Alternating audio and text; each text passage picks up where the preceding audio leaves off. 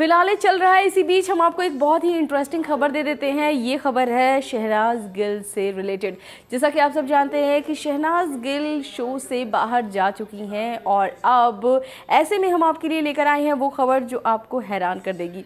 Well well, जैसा कि आप सब जानते हैं कि शहनाज गिल बिग बॉस के बाद करने वाली हैं शादी। नहीं नहीं घबराइए मत। शादी नहीं उनका जो स्वयंवर होने वाला है जो उनका शो होने वाला है वो करने वाली हैं। लेकिन क्या आप जानते हैं कि आखिर ये पूरा जो स्वयंवर हुआ है ये जो स्वयंवर की बातें हुई हैं वो कैसे डिसाइड हुआ? तो हम आपको बताते हैं।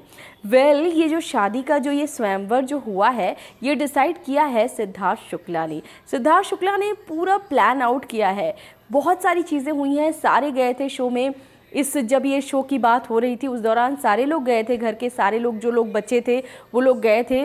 और इस दौरान जो है, बहुत सारी चीज़ें सामने आई मेकर्स से बैठकर बात की गई कि किस तरह से ये शो होगा और कैसे होगा, क्या कुछ होने वाला है इस शो में। ये पूरी जानकारी जो है, वो सिद्धार्थ शुक्ला ने ली। और इसके बाद पूरी तरीके से सब कुछ जाँच पड़ताल के बाद सिद्धार्थ शुक्ला ने शहनाज के साथ इस शो को करने के लिए कह दिया।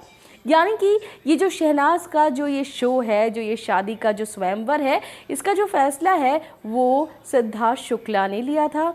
या फिर ये खुद शहनाज गिल ने लिया था। हालाँकि एक बार खबर ये भी आई थी कि शहनाज के पापा को नहीं पता है इस स्वयंवर के बारे में पूरी जानकारी। उन्होंने तो ये तक भी आरोप लगा दिया था कि स्वयंवर के बारे में मुझे तो कोई जानकारी भी नहीं थी और ये सब कुछ सिद्धार्थ शुक्ला को जिताने के लिए हुआ है।